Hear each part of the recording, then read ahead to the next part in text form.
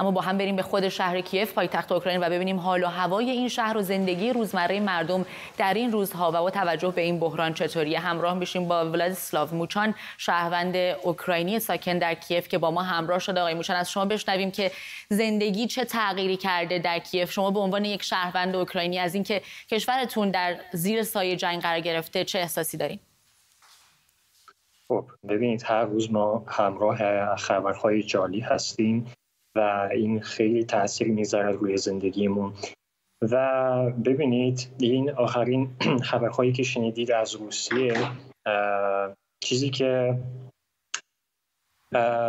چه احساسی برای ما می آورد یه احساسی یه احساسی نگرانی و یه احساسی تحمل نپذیرایی.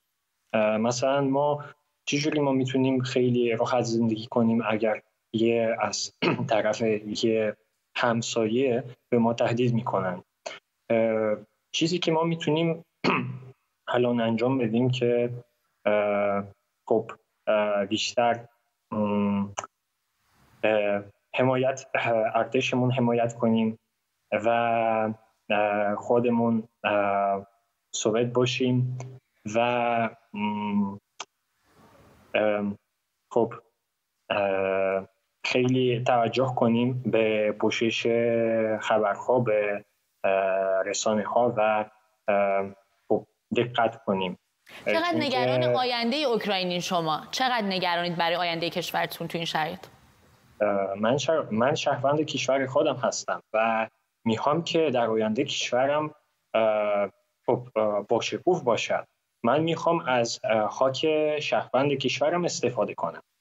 ولی من اصلا خب این چیزی که این چیزی که الان از روسیه به طرف کشورمون این این تهدیدی که هست ما نمی‌تونیم اینجوری قبول قبول کنیم. سپاسگزارم از شما ولاد اسلاف موشان شهروند اوکراینی ساکن در کیف با ما همراه بودید.